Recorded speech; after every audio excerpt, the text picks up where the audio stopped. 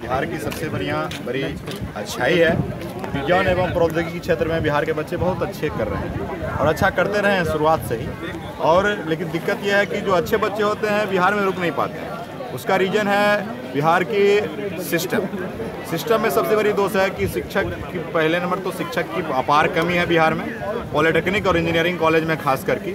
रोज़ infrastructure के मामले में तो सरकार बहुत अच्छी काम कर रही है। मुझे लगता है भारत में कोई भी ऐसा सीएम नहीं होगा जो ऐसा काम कर रहा होगा।